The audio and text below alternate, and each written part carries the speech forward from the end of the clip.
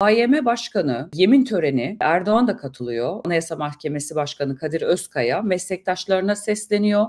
Burada Metin Kıratlı için yemin töreni düzenleniyor.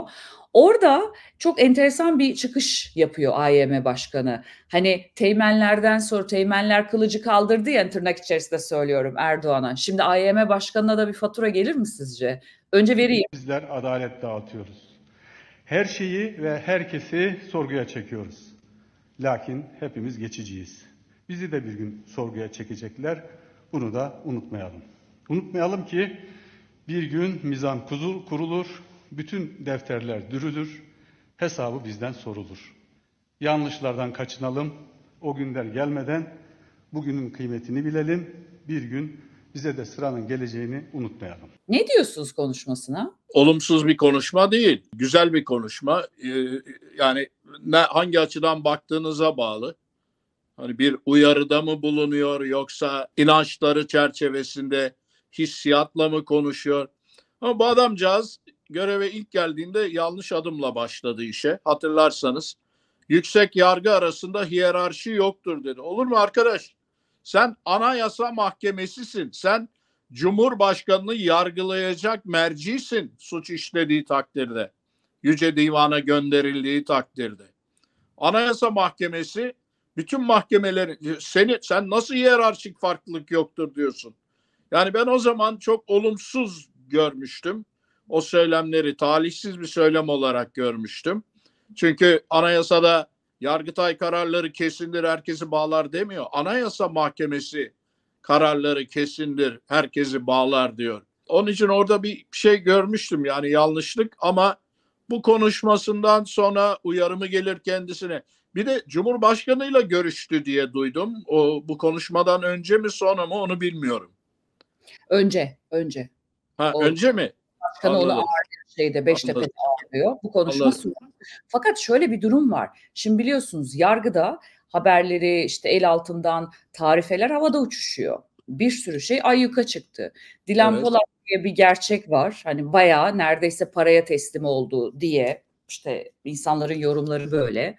Mesela Murat Ağrel dün akşam işte haber yaptı. Diyor ki bir sitede 10 bin dolar karşılığında garantili devlette kadrolu iş, 7 bin dolar karşılığında yargı kararı bozma, 3600 dolar karşılığında KPSS soruları, 5000 dolar karşılığında gri pasaport, 1000 dolar karşılığında diploma, ehliyet, kimlik, kişisel bilgiler satılıyor diye mesela.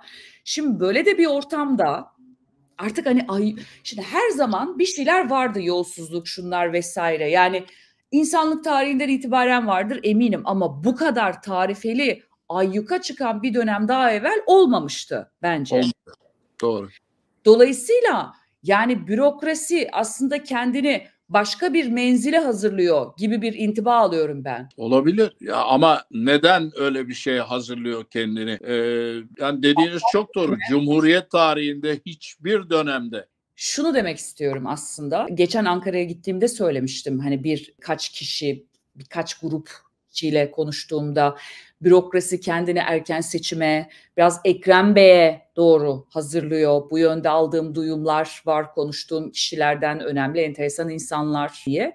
Bana biraz bu açıklama çok gelmedi. Öyle boş bir açıklama gelmedi. Devamında şunu sorayım. Ekrem Bey'e mesela siyasi yasak sizce gelir mi? Ya makul bir ülkede yaşıyor olsak hayır kesinlikle gelmez. Böyle yani dava bile açılmazdı ama bu adamların rejiminde, iktidarları döneminde yok canım bu kadar da olmaz ne deseniz oluyor. Olmaz diyemeyeceğimiz bunu bu kadarını da yapmazlar diyebileceğimiz hiçbir şey kalmadı. Herhalde Ekrem Bey de bir duyum aldı ki ona göre önceden pozisyon aldı, gündeme oturttu o konuyu. Yani gelebilir de bilmiyorsunuz ki burası boşuna demiyoruz tek adam rejimi. Ben o adamın aklını nasıl okuyayım? Ee, yarın sabah kalktığında sinirli mi kalkacak, uykusunu alamadı mı, sakin mi kalkacak bilmiyorsunuz ki. Ee, normal bir hukuk devletinde bırakın ceza gelmesini dava bile açılmazdı öyle bir suça. Ama e, yapıldı. E, işte az önce konuştunuz Halk TV'ye verilen ceza. E, normal programı seyreden birisi hiç aklının ucundan ceza verilir buna diye geçirebilir mi? Mimikleri miymiş, gülümseme miymiş, neymiş? Gözünün üstünde kaşın var bahanesiyle neler neler oluyor. Ee, acıdığım şey ne biliyor musunuz? Bir aydır gündemde ne var? Bir sokak röportajında bir hanımın verdiği şeyden dolayı tutuklanması var ve yargılanıyor olması var. Dilan Polat var. 8 yaşında bir çocuğun katledilmesi var. Geleceğim de birazdan. Evet. Yani e, e, bu, bu işlerle uğraşıyoruz. Ya. Teğmen yemini var ya. Teğmenlerin yemini. Türkiye Cumhuriyeti'nde işte Mustafa Kemal'in askerleriyiz demiş. Yok laik demokratik cumhuriyete sahip çıkma vurgusu yapmış. Bunu konuşuyor. Bundan daha normal ne olabilir ya? Şimdi a, teğmenleri soruşturuyorlar. Normal bir insan bunu soruşturulacak bir tarafı var mı diye sorar mıydı? Ama soruşturuyorlar. Hocam güçlü bir Milli Savunma Bakanı olsa der ki o iş bende.